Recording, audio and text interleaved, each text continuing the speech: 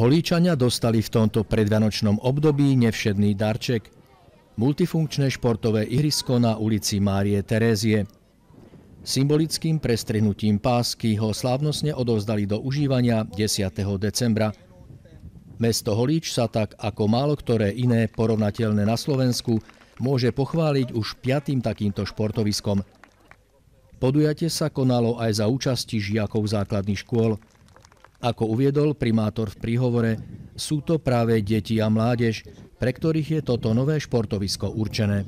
Je to piaté športové ihrisko, ktoré slúži tým našim najmenším.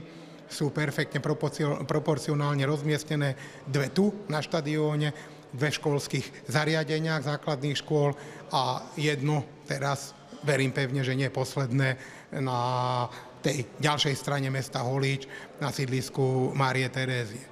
Multifunkčné ihrisko sa mohlo zrealizovať najmä vďaka dotácii vo výške 38 tisíc eur z úradu vlády Slovenskej republiky z programu Podpora rozvoja športu na rok 2019.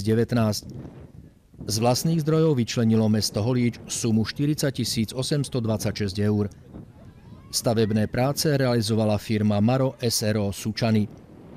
Ihrisko s veľkosťou 33x18 metrov s povrchom z umelej trávy bude slúžiť ako športovisko pre futbal, volejbal a tenis.